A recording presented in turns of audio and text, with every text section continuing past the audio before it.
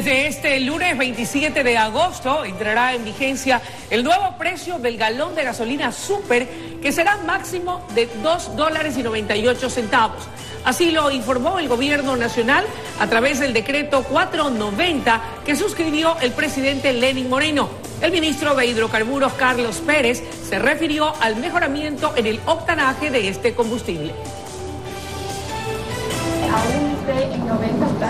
Se cobrará desde la fecha de vigencia y la orden del señor presidente. Desde esa fecha entraremos a, cobrar. Si es que todavía no ha llegado el combustible, pues serán unos días, pero probablemente eh, eh, tendremos que, apurar el proceso para que no haya una dilatación en, cuanto a la entrega de, de 92 octanos.